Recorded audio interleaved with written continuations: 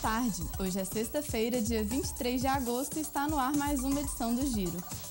Uma exposição em Belo Horizonte ensina sobre a prevenção contra doenças que afetam os ossos. Emílio Pio foi conferir. O Tour da Saúde Óssea dá dicas de como cuidar dos ossos. Para mais informações, converse com a doutora Ana Valadares. Doutora, quais são essas dicas? Olha, as principais dicas são uma ingestão adequada de cálcio, né, que é feita através dos laticínios, e também uma exposição ao sol para absorção da vitamina D.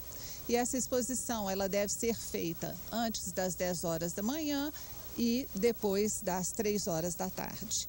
E a pessoa tem que estar um pouco mais descoberta para que haja uma absorção do, da vitamina D. Outra coisa importante é, são os exercícios físicos. A vida sedentária ela é muito ruim para os ossos, não só para os ossos, como para tudo no organismo.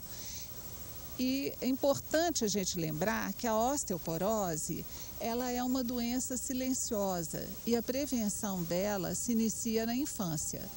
Após os 50 anos, principalmente para as mulheres, existe ainda também o problema hormonal que pode também levar a um, uma deficiência dos ossos.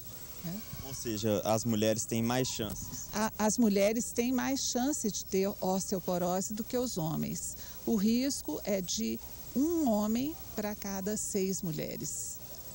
Obrigado pela entrevista. Lembrando que o Tour da Saúde Óssea vai até domingo. Emílio Pio para o Giro. Um aviso importante. A campanha de vacinação começa amanhã e vai até o dia 30 de agosto.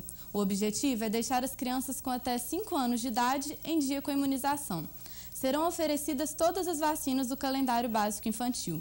Segundo o Ministério da Saúde, a orientação é que os pais levem as crianças aos postos do Sistema Único de Saúde e não se esqueçam de levar o cartão de vacinação. Esta edição do Giro fica por aqui. Continue ligado na nossa programação e entre em contato pelas redes sociais. Obrigada pela companhia e até a próxima.